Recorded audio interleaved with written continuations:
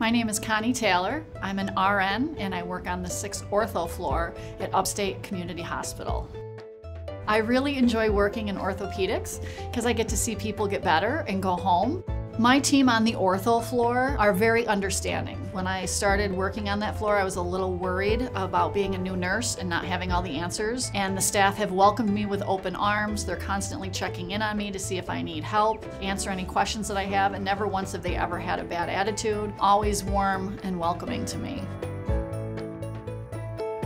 There's just so many job opportunities and there's openings eh, that are available in all realms of the hospital and doctor's offices. If you get into one area or one aspect that you don't enjoy, there's always a move that you can make. So there's just a lot of options.